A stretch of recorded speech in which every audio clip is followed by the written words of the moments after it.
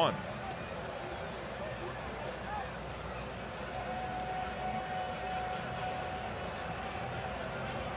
Schneider getting a little bit of info first.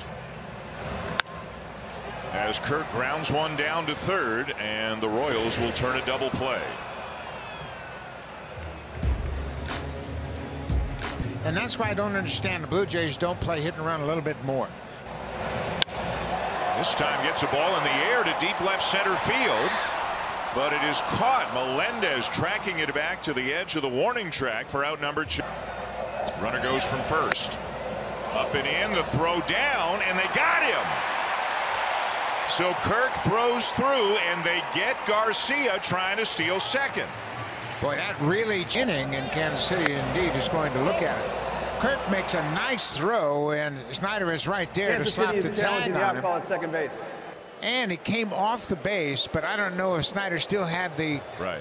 glove engaged with the runner. Right here, he comes off the base, no contact at all. He did have his glove on the leg when the leg was off the base. Barria's throwing some warm-up pitches as he tries to stay loose. This is a tricky one. Yeah. The call is confirmed. The runner is out. Kansas City will lose its challenge. Call is confirmed. Runner. And high ball four.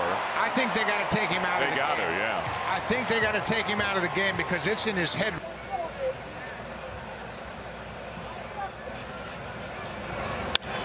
And there's the ball shot into right field. A base hit for Kirk.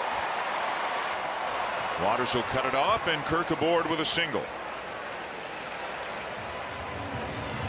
Alejandro stays on this pitch. It's away, and he rips it past the first baseman. Up in this situation, it won't be Tyler Heineman. It'll be Dalton Varsho who didn't